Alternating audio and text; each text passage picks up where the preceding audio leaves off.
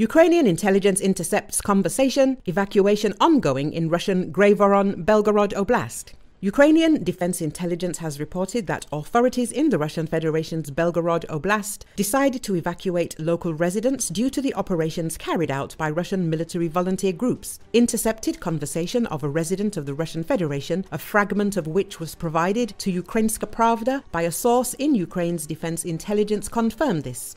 An intercepted conversation with a local resident indicates that the people of Grayvoron district, Belgorod Oblast, Russian Federation are being evacuated. Uncle texted, basically that buses are standing or going. Grayvoron is being evacuated. Mom called me. Dima called. They said they were evacuating, says intercepted conversation. Vyacheslav Gladkov, the governor of Belgorod Oblast, reported on Telegram that the Grayvoron city district was again attacked by the armed forces of Ukraine. Gladkov stated there are casualties in the city. The Russian Volunteer Corps then issued a call to all residents of Kursk and Bryansk oblasts who did not have time or were unable to evacuate to seek shelter immediately. Russian volunteers from the Freedom of Russia Legion, the Sibir Battalion, and the Russian Volunteer Corps liberated two settlements from the Putin regime and the Second Army of the World and continue to hold them. The volunteers said that they also decided to go to Putin's elections. Moreover, in Ukraine, what they say in the liberation forces of the Russian Federation is only the beginning. Part of the village of Tetkino, which was liberated by Russian volunteers, changed its name in Titchin, and fighting is underway for another part of the village. In addition, it became known that the border of Lozovaya Rudka of the Belgorod region was under the control of the liberation forces. Devastating storms pounded three central U.S. states March 14 night, spawning massive tornadoes, including one that hit a trailer park in Indiana and killed three people. Logan County, Ohio, Sheriff Randall Dodd said that there were two deaths at the Geiger Mobile Home Park in Lakeview, north of Dayton, after a reported tornado hit the area. Police said a possible tornado also ripped through the rural Indiana community of Winchester, leaving homes damaged and some buildings flattened, while many were left with significant injuries. More than 13 million people in the central United States were under tornado watches, the National Weather Service said. A very dangerous half mile wide tornado touched down in Ohio State, National Weather Service said. One struck the rural town of Indian Lakes in western Ohio. It's pure devastation.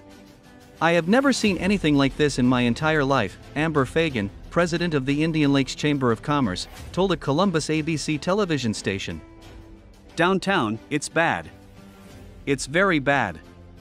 Three people died in a mobile home park in Winchester, Indiana, when a suspected tornado struck, the ABC and NBC television networks reported, citing state police storms hopscotched across the Ohio Valley, spawning apparent tornadoes in a number of areas. Kentucky Governor Andy Beshear said on social media that a tornado moved through Gallatin and Trimble in his state but left no fatalities. Tornadoes, a weather phenomenon that is as impressive as it is difficult to predict, are relatively common.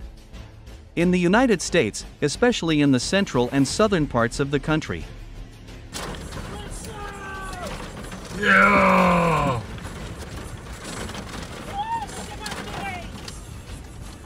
Beautiful!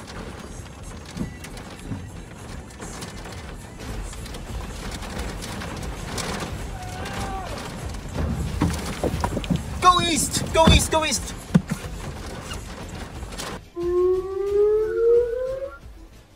Oh no. There it is. That is insane. Massive tornado warning supercell here.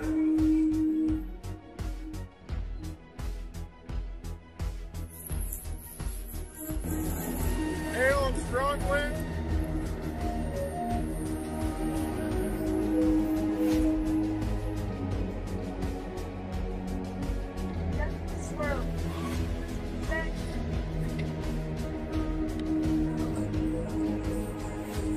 Oh, those poor people.